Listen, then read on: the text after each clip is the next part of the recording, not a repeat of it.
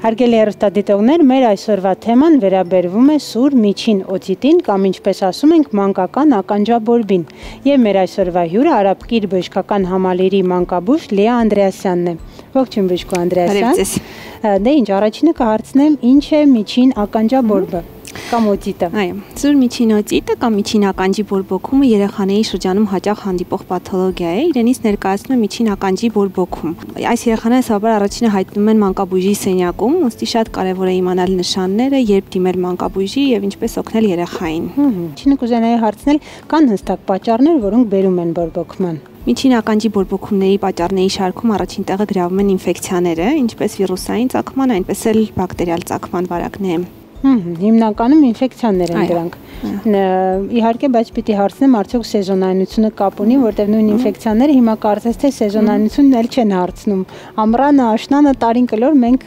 տարածվածություն ունենք։ Սովորաբար սեզոնայնությունը հենց վիրուսների սեզոնայնության հետ է կապված, ուստի դրա հետ կապված ձմռան եւ գարնան ամիսներին հիվանդացության դեպքերը ավելի շատ են։ Ավելի շատ է տարածվածությունը։ Ինչպես կարող են ծնողները հասկանալ, որ երեխայի մոտ հենց ականջի բորբոքում է։ Հիմնական Գիտական նշանն է, դրանք ջերմության բարձրացումն է, թուլությունը, ականջացավը, երբեմն լսողության իջեցումը, երբեմն էլ երեխաները կարող են ունենալ թարախային արտադրություն միջին ականջից, դա տեղի է ունենում թփկաթաղանթի ամբողջականության պատրման հետևանքով։ Իհարկե ականջացավը շատ սպეციფիկ սիմպտոմ է, սակայն դեպքերի մի մասում այն կարող է բացակայել եւ իր բացակայությունը երբևէ չի խոսում այն մասին, որ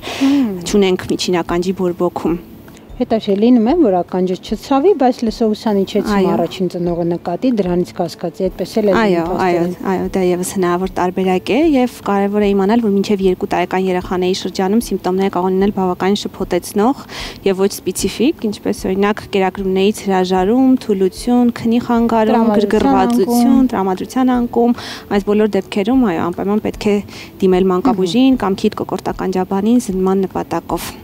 հիմնականում փաստորեն այնպես չի որ լուր է ընթանում, բայց կարող է եւ մի քիչ քողարկված եւ այլ սիմպտոմներ լինի, այդքան ակնհայտ հենց կոնկրետ ցավով չլինի։ Երեխան միջը որ կարող է ցույց տալ ականջի։ Եվ այո, դա տարածված կարծիք է մայրիկների շրջանում, որ երեխայի ձեռքականջին տանելը միշտ վկայում է բորբոքման մասին, բայց պետք է նշեմ, որ ձեռքականջին տանելը դա միշտ չէ որ ցավի կամ բորբոքման նշան է։ Շնորհակալություն։ Հետաքրքիր է սովորաբար հետազոտությունների ինչ ցանկ է պետք լինում արդյոք միայն առաջնային զննումը բավարար է թե պետք են լինում գործիքային Ինչպես արդեն նշեցի, առաջինը այս երեխաները հայտնում են մանկաբույժի սենյակում, ուստի շատ կարևոր է որ ցանկացած ջերմող երեխային մանկաբույժի կողմից իրականացվի օտոսկոպիա։ Օտոսկոպիան դա հատուկ սարքի միջոցով միջին ականջի եւ թմկաթաղանթի զննումն է, որը թույլ է տալիս հայտնաբերել արդյոք կա բորբոքում թե ոչ եւ ինչ աստիճանի է այդ բորբոքումը։ Իհարկե այն դեպքում, եթե ունենք թմկաթաղանթի ամբողջականության խախտում եւ թարախային արտահոսք, ախտորոշումը ակնհայտ է ոչ միայն բժշկի, այլ նաեւ ծնողի համար։ Մնացած բոլոր դեպքերում զննումից հետո է միայն པարզ դառնում, որ բոկված է ականջը թե ոչ։ Ու որոշ դեպքերում հարկ է լինում, եթե ունենում են նաև լսողության իջեցում, արդեն նեղ մասնագետների կողմից իրականացնել տիմպանոմետրիա, մի քանի այլ հետազոտություններ, այո։ Բայց հիմնականում փաստորեն մանկաբույժը իր կաբինետի սահմաններում կարող է նույն գործիքով նայել, տեսնել, որ բոկվածություն կա թե ոչ կամ ախտորոշում դնել։ Այո հետաքրքիր է ինչ պատճառով է parberabar կրկնվում։ Երբ է որ երեխայի մոտ դա ինչ որ հակվածություն է առաջանում անդադ կրկնվելու, արդյոք դա ահազանգ է ինչ որ կանխարգելիչ միջոցառումներ անելու։ Սովորաբար կրկնվող միջինոցիտների դեպքում բուժման, ախտորոշման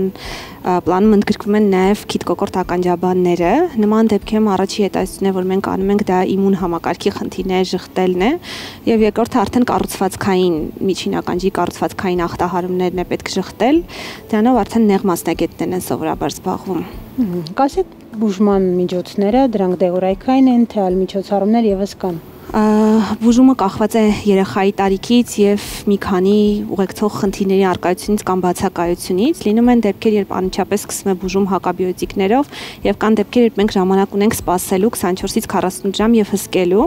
24-48 ժամ հետո կրկնակի զննելու եւ միայն այդ ժամանակ որոշելու արդյոք կարիք կա հակաբիոտիկներով բուժման թե չէ։ Այդ ընթացքում երեխաները սովորաբար ստանում են հակաբորբոքիչ դեղորայք։ Եթե ի վերջո որոշում եք կայացվում, որ պետք է սկսել բուժում հակաբիոտիկներով, սովորաբար տևողությունը 7-ից 10 օրն է։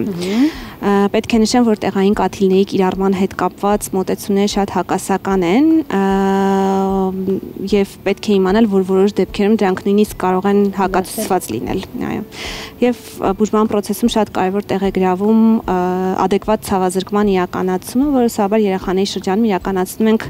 իբուպրոֆեն կամ ացետամինոֆեն պարունակող դեղամիջոցներով։ Այո, Պաստորեն այս դեպքում եւս ինքնաբուժումը խոր չի տրվում, որ կարող է մայրիկը արդեն ակտորոշել, ինքնուրույն կաթիլներ կաթացնել, այնինչ կարող է դա նույնիսկ վնասել եւ հակացուցված լինել։ Ինչ վերաբերում է կանխարգելիչ միջոցառումներին, պետք է իմանալ, որ դրանց շարքին են դասվում վիրուսների կանխարգելումը եւ այդ թվում կարևոր տեղ են զբաղեցնում սեզոն սեզոնային եւ ըստ ազգային օրացույցի պատվաստումների իրականացումը, ինչպես օրինակ պնևմակոկային վակցինայի իրականացումը, գրիպի վիրուսի սեզոնային վակցինայի իրականացումը, կրծքի կաթով կերակրումը, ծխախոտի ծխի բացառումը։ Եվ կարևոր փաստ է, որ 6 ամսեկանից մեծ երեխաների շրջանում ծծակների օգտագործումը եւս կարող է մեծացնել միջին օդիտների զարգացման հավանականությունը։ Հմ, շատ հետաքրքիր է։ Էլի խոր չտանք, որ երկարատև։ Այո ամեն կերպ խթանեն ծծակների օգտագործումը։ Շնորհակալ եմ շատ հետաքրքիր զրույցի համար Բեժկուի։ Կարծում եմ մենք դեռ կանրադառնանք այս թեմային։ Իսկ ես հիշեցնեմ, որ իմ հյուրը այսօր Արաբկիր բժշկական համալիրի մանկաբույժ Լիա Անդրեասյանն էր եւ խոսում էինք ականջի բորբոքումից։ Իսկ մենք տեղափոխվենք գեղեցկության գաղտնիքներ էջ եւ տեսնենք ինչ են մեզ համար պատրաստել Իդեն բժշկական կենտրոնում։